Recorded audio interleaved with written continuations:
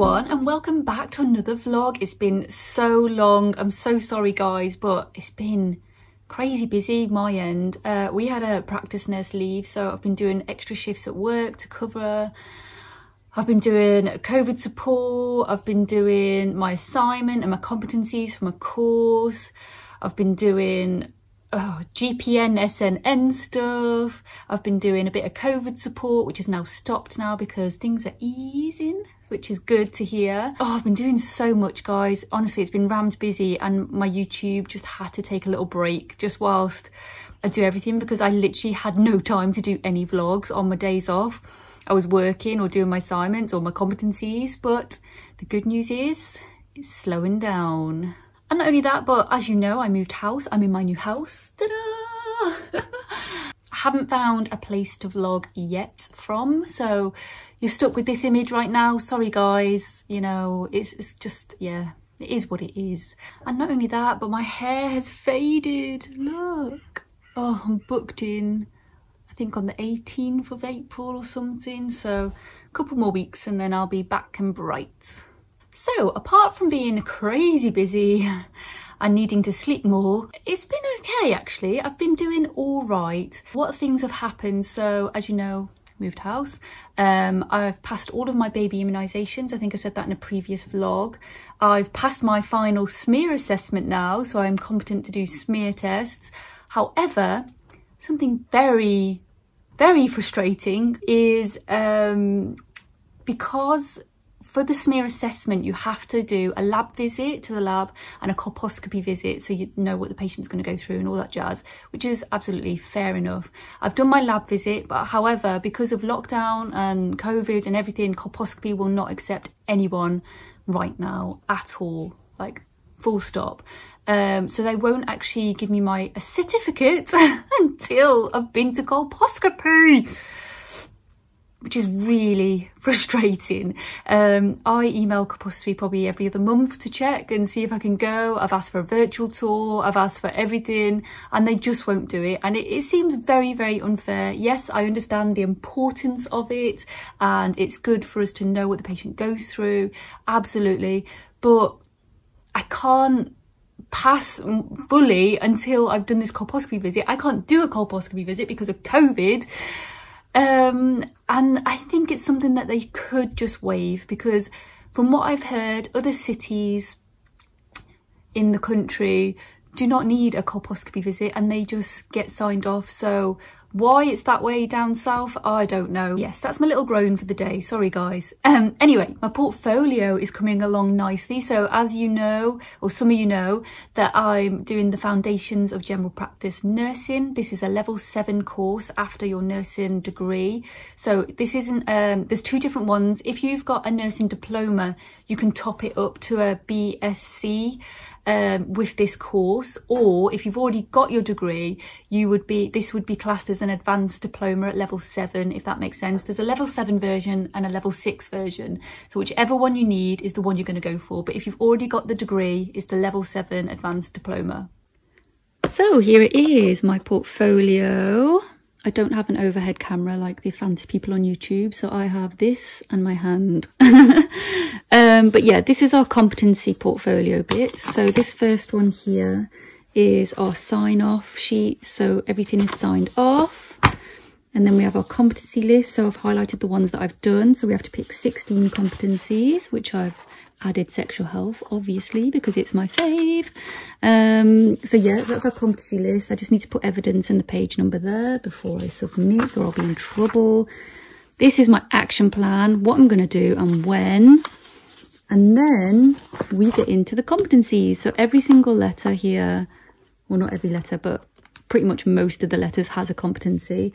Um, so this is my consultation one and we just had to write an analysis of learning and then we had to put two pieces of evidence. So for this one, I put a consultation that I did and then I put some feedback. Um, I got some feedback from the same patient on my consultation. So I did that. And then we have infection control, which was by far my favourite because I had a needle stick injury. I know, doing the COVID vaccines, I had a needle stick injury. Um, and so I wrote about it and I used it as a competency, which was actually amazing for my portfolio. So win-win situation there, really. Um, but luckily it was a, a, clean needle, it wasn't a dirty needle or anything like that. I just might have had an extra dose of COVID it's fine. But I did analysis of learning and a reflection. I did, this is the way we used to set it up before I got my stick injury. This is why we got a stick injury because we were resheathing. A lot of you may have saw this picture on my Instagram because I did share it everywhere to warn people.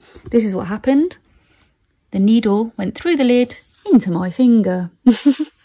I still have no idea how this happened. And then I've put the um, the Vaccine Preparation Administration. This is from the uh, Centre of Disease Control itself and I've highlighted this bit that says bring the dose of vaccine from designated preparation area immediate to the patient treatment room for administration. So it's open for interpretation. So this is saying you should prepare it like we were doing before you get into your patient. But now we've changed practice completely and we mix up the vial but then we take it into the room ready for the patient and then we draw up when the patient comes in and that's the way we do it now. So this is just proof that bad things happen and we've changed practice as a result. That is my reflection of it. Then I've got safeguarding. So it's called, oh, this one was a good one. I haven't, have I printed off? No, I haven't printed off the, the analysis of learning.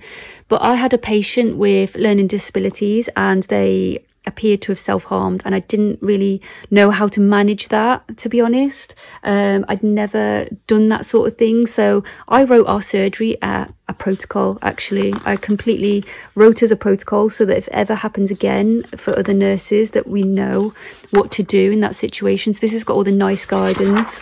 Um, and part two of it is specifically for learning disability patients and what to do. But it is quite long-winded. Um, but yeah, it, it really needed to be put in there. So I have done that. Health promotion. So this one's a good one. Um, I did analysis of learning and I did a research paper on cancer breast screening, which I've just reminded myself I need to print out because I haven't printed that out yet, and a patient information leaflet. So I put these in place in our um, in our surgery because we didn't have anything on checking your breasts. And we have to do this at every smear check. So this is a really really good one. If you're interested it's from coppafeel.org they do really good webinars as well on checking your breasts. Um, really really good information for your patients. So i put that in place in our surgery. A mental health um, competency. Um, that is an extra bit that needs to go somewhere. That's an extra bit that needs to go somewhere um, then I've got my asthma competency, venipuncture competency, ear examination, my cervical screening and what happens, ECG competency, we're getting there guys, wound care competency, sexual health, and that is it yeah, so if you're looking to be a general practice nurse, this is the type of course you can look at going on to. You have to secure a job first, however, before you start the course, because obviously you need to do these things in practice and have a mentor and stuff like that. So you can't just do this course like willy-nilly after your degree and for just for fun. It's a course that you need to be working and the GPs will fund this or your CCG will fund this if you're a new qualified nurse or new to practice. So ask them the question. However, some practices will not send you on the course. You will go into general practice as a practice nurse and they will train you up on the job. So you'll have separate little courses here and there, e-learning, stuff like that, and they'll train you up that way rather than going to university and getting an official certificate. It just depends on what your practice does. And this is the frustrating thing about general practice. No practice is the same. My practice, what I do is completely different to every single other practice. And the practice that you might be at will be completely different to every other practice. Like everyone has got their own pot of money, their own funding, their own ways of working, their own terms and conditions, their own contracts. So it's, it's kind of like a, a lucky dip really, what you get. But trust me guys, we are fighting for some standardisation across the UK on this because it needs to happen 100%. Anyway, so some other exciting news I have for you is um, that I, oh, I don't know whether I should say it because I don't actually know yet. Oh, I'll just say it anyway. So I had an email to my NHS inbox uh, for the role of a super practice assessor position. And this isn't I'm not leaving general practice, don't worry guys. don't worry, I'm still in practice nursing. This is something you do alongside your role. Um, so this role is going to be helping student nurses out in the area. So it's not just in my practice, it's across the board in Portsmouth and Southampton area. So if you are Portsmouth, Southampton based, you might see my face at some point. Yay! Dead excited about it. So I will be begging practices to take students on basically and helping students in general practice and making sure they're okay and supporting them wherever I can basically um, and sorting out timetables and things like that. So that is going to be my job I think. Um, I have applied for it but my manager has to okay it. However, it's a win-win situation really because um, I've said I want to do it, but I'm going to do it on my day off. So I normally have a Thursday off. And now that everything's calmed down and my portfolio's done and everything, I've got time to do it. So I said I'll do it on my day off on a Thursday.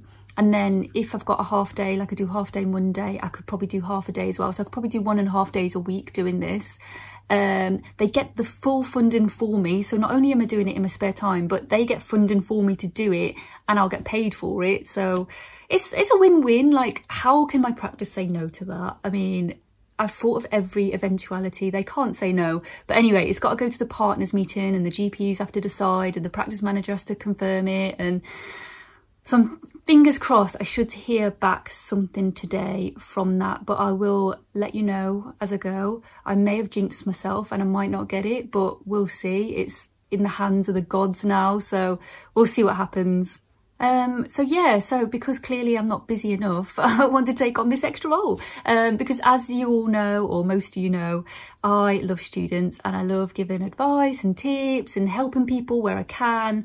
It's just what I love doing and it keeps me motivated and it's something that I've been looking out for to do since I became a general practice nurse because it's something I really want to do. So when I saw this post, I was like, oh, I need this job right now, this second, give it to me.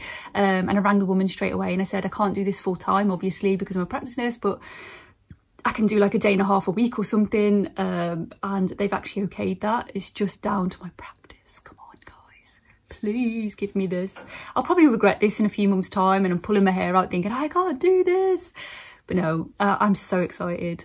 But yeah, I've missed um, that interaction with students. It's been a long time and it's something that I really, really want to do. It's something I want to do in the future. You know, I want to be a practice nurse, but I also want to do teaching and lecturing and, oh, too much things. But anyway, now that things are calmer, my portfolio is pretty much finished. I've just got a competency left to do, two competencies I think left to finish, and then that's done. I hand it in next month, so I'm going to have a lot more free time. So yeah, that's pretty much it. Um, that is my life update. It has been non-stop, all go, and it's been very, very busy.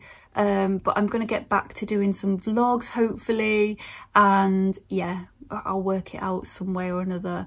But um, yeah, if there's any vlogs that I haven't done yet, comment below. Don't comment things that I don't know about because I can't do it. I'm really sorry, but if I don't know it, I can't do it. Um, but I will obviously try and do things. So if there's anything you want me to cover, anything you want me to do, look back at my videos first and see if I've covered it yet. If not, put it in the comments and I will try my best and do it. But that is it from me. I hope you all have an amazing week and I shall see you next time.